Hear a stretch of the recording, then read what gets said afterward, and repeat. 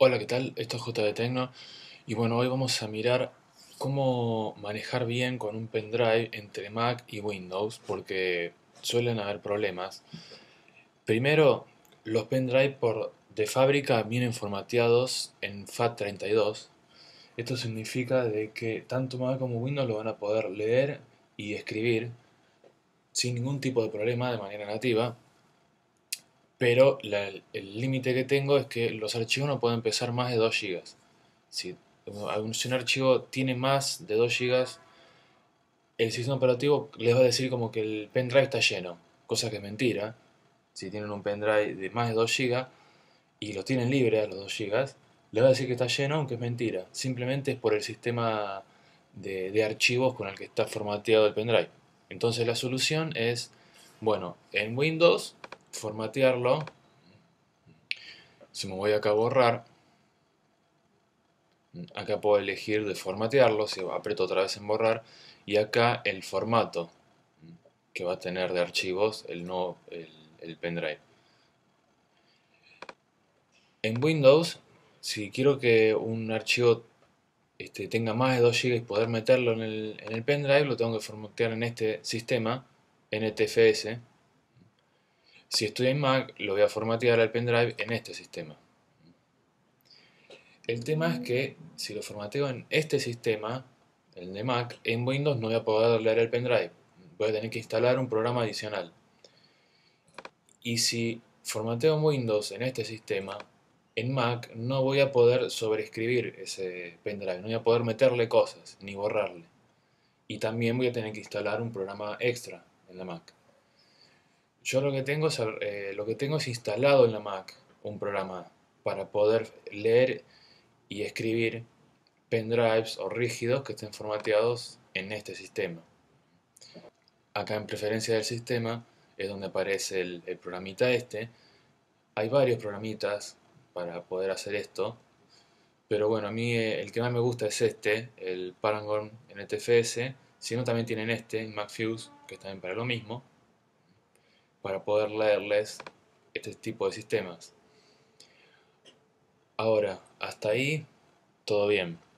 El tema que a mí me ha pasado es que por ahí por algún motivo yo he tenido que formatear el pendrive desde la Mac y lo he formateado, por ejemplo, en este sistema, en el TFS, que al tener instalado el Paragon me, me deja, me habilita en estas cosas le voy a poner eh, este, el de FAT32.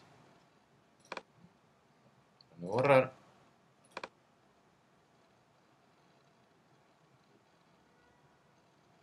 Y ahí lo formateo en FAT32. Entonces ahora, y bueno, acá me meto al pendrive y veo, me dice que tengo un giga disponible, que es la capacidad que tiene este pendrive.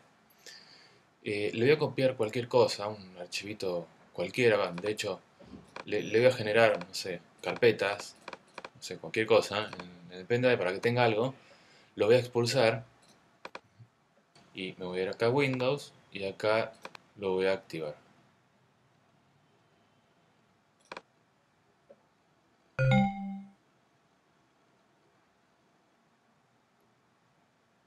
Me meto al pendrive desde Windows y me sale este cartel.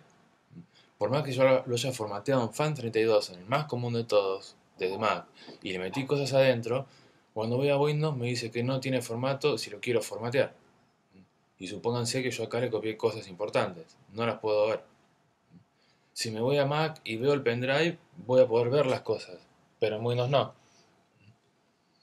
Así que ahí tengo un problema. De hecho, ya como que...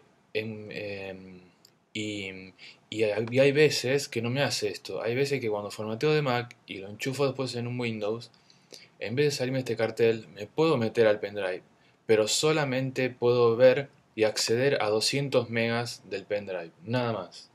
Por más de que tenga 8 GB. Y en la Mac sí veo los 8 GB.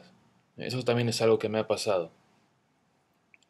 Entonces, cuando sucede eso, ese tipo de cosas, generalmente cuando formateo desde Mac, a mí nunca me ha pasado desde Windows, pero he escuchado gente que sí le ha pasado de formatear de Windows y que solamente acceden a 200 megas, para poder desbloquear eso del, pendrive y poder acceder a la totalidad de los gigas y poder verlo en los dos sistemas, lo que hice fue bajarme este programa que está únicamente para Windows, HP USB Disk Storage Format Tool.